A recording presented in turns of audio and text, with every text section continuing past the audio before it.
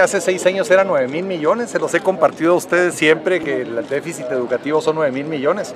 Lo bajamos al 50%, yo creo que es una enorme ganancia, por eso insisto que el hecho de cómo estamos entregando el Estado a como lo recibimos es totalmente diferente.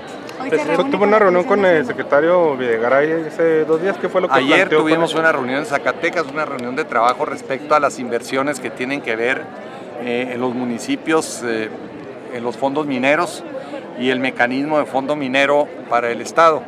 Eh, fue una amplia reunión donde participó también la secretaria Rosario Robles, el secretario de Hacienda, y a Chihuahua afortunadamente le corresponden ingresos muy importantes. Estamos nosotros planteando eh, que el cálculo de ingresos debe ser todavía un poquito mayor y creo que vamos a tener eh, efectos afortunadamente en ello. Se menciona que ya llegó este, la Secretaría de Hacienda a una decisión para que, cuál sería la institución financiera. No sé si le hayan informado o si sea esto verdad.